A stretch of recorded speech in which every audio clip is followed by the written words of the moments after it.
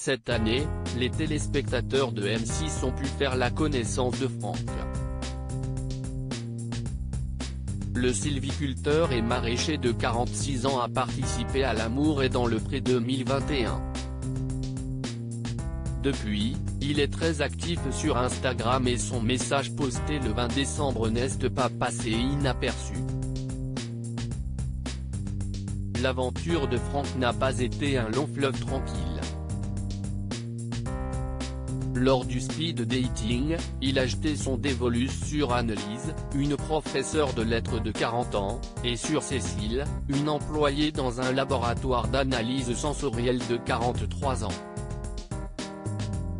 Cette dernière était un véritable coup de cœur mais, le fait qu'elle ne veuille pas déménager directement chez lui à cause d'un projet professionnel a tout gâché. Ainsi, il s'est mis en couple avec sa rivale.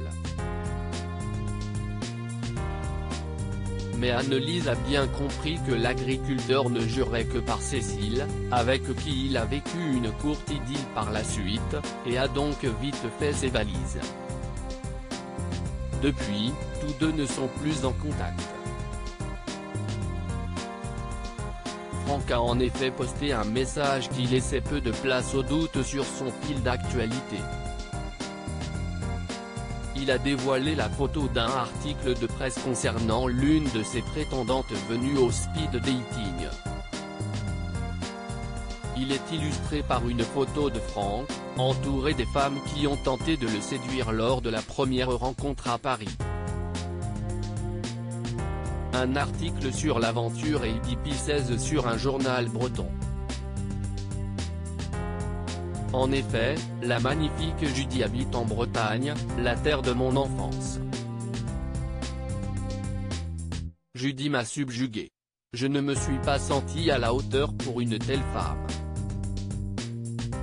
Je m'étais d'ailleurs justifié auprès de la production en disant qu'il lui fallait un homme très artiste et que je rêverais d'être l'ami d'un tel couple. L'aventure ADP se solde par de merveilleuses rencontres, sauf pour une personne que je souhaite oublier. Et qui n'est pas sur la photo, que je recevrai toujours avec plaisir ici